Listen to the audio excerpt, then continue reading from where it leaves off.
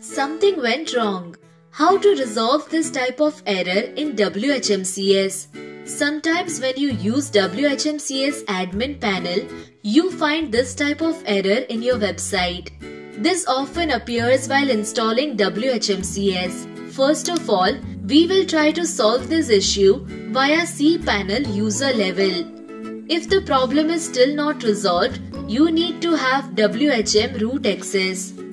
So first of all log into your cPanel account and then go to multi-PHP manager section. Now from here, you need to switch the PHP versions one by one. After you switch them, check your website whether the issue is resolved or not. In some or the other PHP version, your issue must be resolved. If still this does not help, go ahead with the solution number 2. Now for that, go inside file manager section and then go to public underscore html. Now from here, try to disable .htaccess file. If .htaccess file is not visible, then simply click over settings at the top right corner and then click over show hidden files. If you want to disable this .htaccess file, simply rename it. You can rename this file to any other name. As soon as you rename this file, you need to understand that there might be some other .htaccess file as well.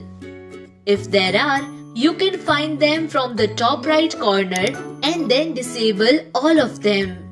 If still the problem is not resolved, we need a solution at root level now. So first of all, go to WHMCS documentation page and here you will find several PHP extensions. These are the compulsory requirements of WHMCS which needs to be enabled at root level.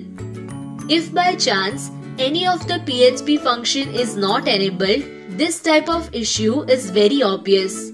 So in order to solve this problem at root level, first of all, go to WHM root and then go to Easy Apache 4. Easy Apache 4 is given under software section. Now from here, click over customize in front of currently installed packages. Now go to PHP extension and then search for all those PHP which you saw in WHMCS documentation page. For example, PDO, Icon IconV, MBString, MySQL, GMP, OpenSSL, BCMath, INTL, etc. Once you have enabled all the PHP extensions, click over Next. Go to Review and then click over Provision. This will take some time and your packages will be installed successfully. Now if you check your website, this will definitely solve the issue. Please subscribe to our channel if you have still not subscribed. If you want to host your WHMCS website without any errors flawlessly, then redserverhost.com is the best option for you.